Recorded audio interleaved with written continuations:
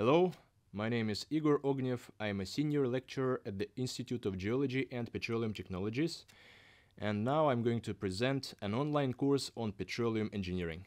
Petroleum engineering is an online course for master degree students which is aimed at covering the basic knowledge of the petroleum reservoir, its petrophysical properties, and the displacement of fluids inside of it. It covers such topics as capillary pressure and relative permeabilities, frontal displacement theory, natural drainage production mechanisms in oil and gas fields, secondary oil recovery, and well performance. It is suitable for master students with petroleum engineering or natural sciences background and requires basic understanding of petroleum geology, math, and physics.